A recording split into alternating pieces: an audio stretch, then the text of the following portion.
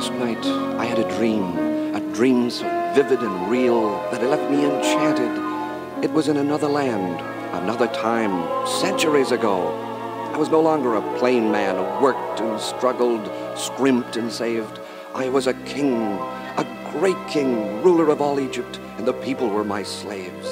I had commanded them to build a great pyramid in honor of my name, and that it should stand throughout the ages.